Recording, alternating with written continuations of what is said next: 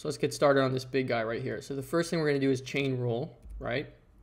Remember, we just take the derivative of the inside times derivative of the outside. So that's why we have cos there. And then our d over dx times the inside. Now, that guy on the right-hand side, that derivative is going to be a big boy, but it's just quotient rule stuff, right? So on the top, right, we have the derivative of the top times the bottom minus the derivative of the bottom times the top. You know, all of that divided by the bottom squared. Okay, so you see that derivative on the right-hand side on the on the numerator. So immediately you should see we're just doing chain rule one more time, right? Our, our x, easy stuff, turn that into 1.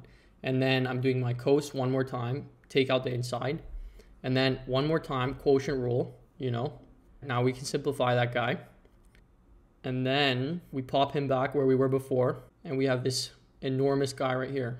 So all we had to do was chain rule, quotient rule, chain rule, quotient rule. These guys, they look intimidating, but once you've mastered the key rules you need to know, you can really recycle them. And yeah, we're done.